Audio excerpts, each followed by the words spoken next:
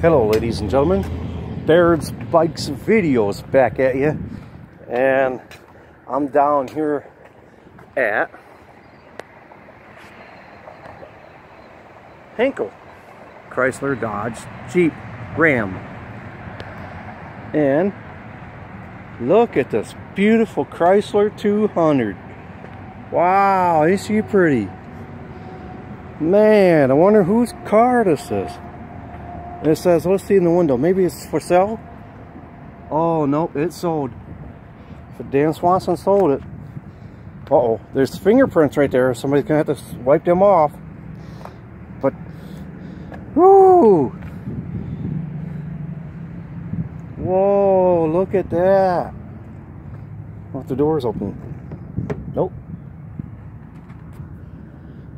I can't open the door. It's not open but it sure is pretty. Oh man, Chrysler 200 all-wheel drive. This is a Chrysler 200S. Man. Beauty. Huh? I'm filming cars. Look at this car. I just don't know. Maybe Shelby should buy this car. Whoa! That's a pretty cool car. I just out here doing the filming. Here's my beautiful truck.